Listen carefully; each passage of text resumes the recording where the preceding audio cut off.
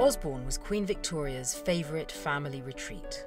Here, away from the formality of court life, she could relax with Prince Albert and their nine children.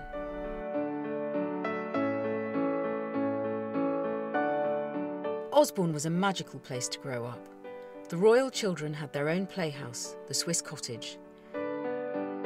It had its own kitchen and dining room, and even a small museum to house the children's collections.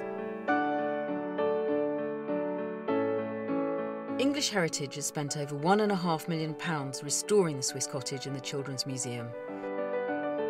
And over the last seven months, more than 4,000 objects, ranging from wheelbarrows to stuffed animals, have now been removed, cleaned, and painstakingly restored. The restoration involves adding new interpretation to the whole area um, so that we can tell the story of the royal children for the first time at Osborne. We're really hoping the visitor experience will be one of taking a step back in time to um, experience what a royal childhood might have been like for um, Victoria's children.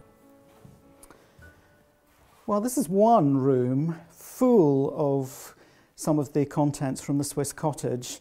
A great mixture. We've got taxidermy, we've got geology, the Swiss Cottage Museum was really um, designed by Prince Albert as a, an educational tool. It was play, it was fun, but nevertheless, Prince Albert was able to instill in his children a knowledge of the natural world.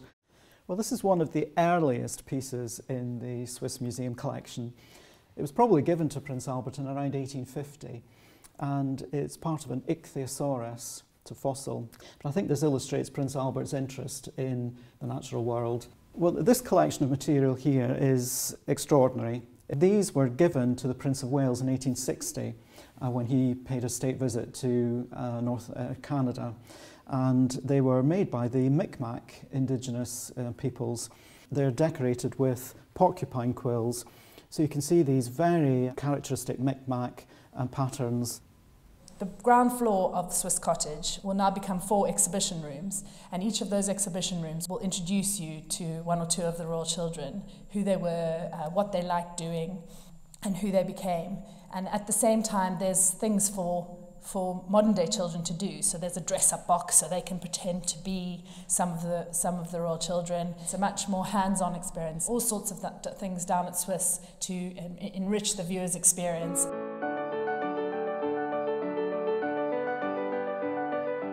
Think Osborne is very special because it is here that one can get very, very close to Queen Victoria, Prince Albert and their family.